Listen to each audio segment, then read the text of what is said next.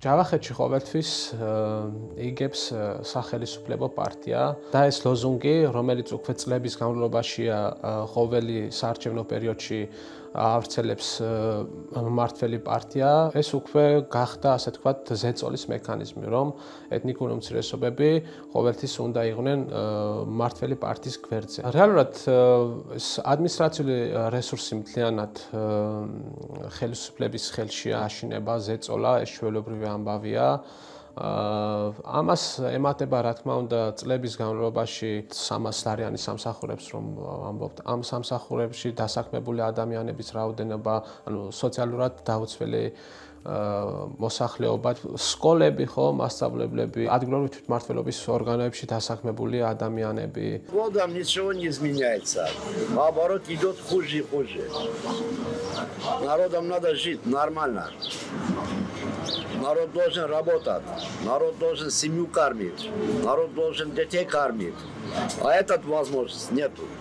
მოქალაქეობის საკითხი ყოველ არჩევნებზე იღენებს მართლი პარტიის დაპირებების სახით, რომ აი ჩვენ რომ მოვალთ ამ საკითხებს მოქალაქეობის საკითხს მოვაგვარებ. იარგი შტიხ პასპორტს თულკირთაი ბრასტანი ქახქელეკ პასპორტს თულ тегаган инч витнажительства унеи ксен спасе. Есе инчкан спасем. Жиректарис мнац. ორტასტარელი დირექტორმა ორტასტარის ლიბიდე ორტა ყველაზე დიდი დანაკლისი დემოკრატიული ხო ღირებულებებია რეგიონში რომელიც წლების განმავლობაში ესე ვთქვათ არ ვითარდება.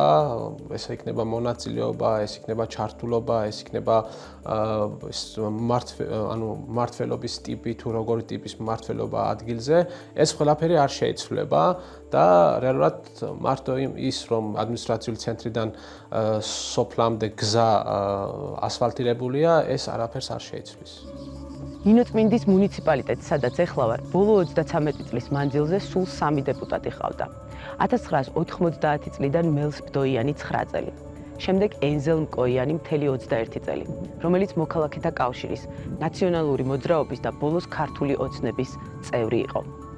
დღეს ოცნების დეპუტატ სუმბატ კიურეღიანზე მოგიყვებით. როგორ აღმოჩნდა კიურეღიანების ოჯახის ხელში მილიონობით კვადრატული მეტრი მიწა, მონაკოს სამეფოზე დიდი ტერიტორია და რა პრობლემებს ქმნის სახელმწიფო მიწების უთანასწორო გადანაწილება უბრალო ჯავახელებისთვის. დავდივარ სოფლებში, ვსაუბრობ ადამიანებთან, განცხობა არის ძალიან უარყოფითი მართველი პარტიის პოლიტიკის მიმართ. ამიტომ რომ არ რეალიზდება კარტოფილი, არ იზრდება რძის ფასი, ხო?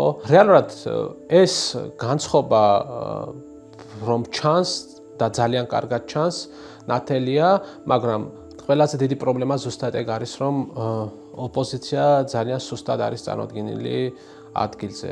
წლების განმავლობაში ოპოზიცია ფიქრობს, რომ არ არის საჭირო რესურსის დახარჯვა ეთნიკური უმცირესობების რეგიონებში, იმიტომ რომ ეთნიკური უმცირესობები ყოველთვის ირჩევენ მართლ პარტიას.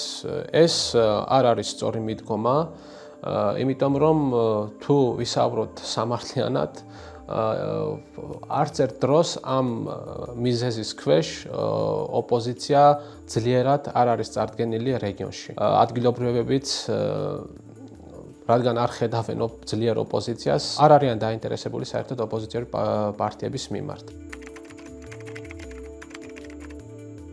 არც ოპოზიციური პარტიების, არც მართველი პარტიების იმედი ადგილზე აღარ აგვაქვს. ჩემი იმედი, ერთადერთი იმედი არის ადგილობრივი მოსახლეობა, რომ გონიერი არჩევანი გააკეთოს.